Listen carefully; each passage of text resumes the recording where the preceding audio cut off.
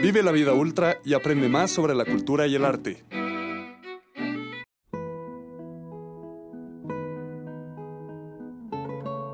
Primer día de clases, primer mirada al segundo hogar.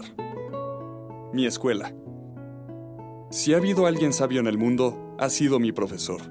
Los nervios de aquel primer día de clases se hacían presentes en todos aquellos alumnos, que por primera vez estaban listos para recibir un nuevo mundo de información y tomar aquel camino que los grandes sabios han bautizado como el camino de la vida.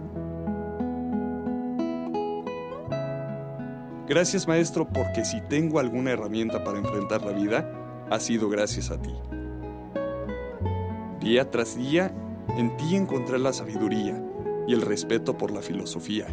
Orgulloso de tu caminar debes sentirte como mi guía, porque el mañana de tu creación día tras día te lo gratificará.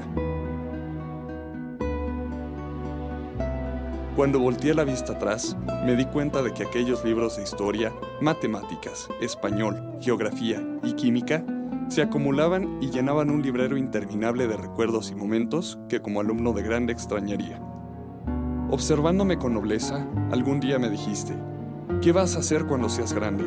Y en ese momento me di cuenta de lo muy importante que era ver a aquel sabio ser en mi perspectiva de alumno como un ejemplo de vida. Corría como nadie lo había hecho en compañía de mis compañeros a la hora del recreo, sin darme cuenta que mis amigos de aquel día serían mi mano derecha o mi compañía. Siguiendo mi trascender por la escuela, los años pasaron volando, y llegado el día de la graduación, aquella persona que día tras día me educó y me enseñó la realidad de la vida, se despedía con nostalgia de un grupo de personas que saldrían a enfrentar la vida tal como Él nos entregó la suya. Gracias por dejar parte de tu vida en mí. Gracias por ser mi guía.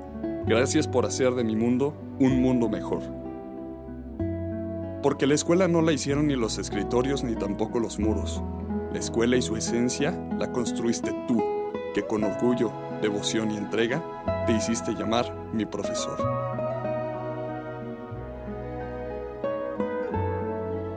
Para Ultracultura, José Miguel González.